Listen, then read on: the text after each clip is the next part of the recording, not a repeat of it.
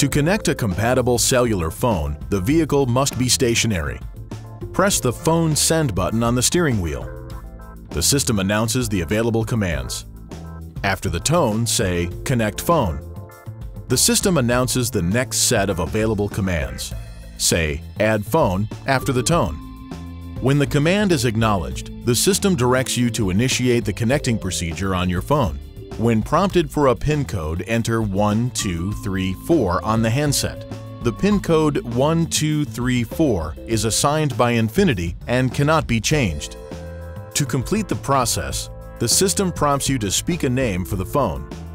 After the initial connecting procedure is complete, your phone will be automatically connected to the in-vehicle phone module whenever the ignition switch is placed in the on position and the phone is turned on and carried into the vehicle. You can use the same procedure to connect up to five different cellular phones to your vehicle's Bluetooth system. The connecting procedure varies according to each cellular phone model.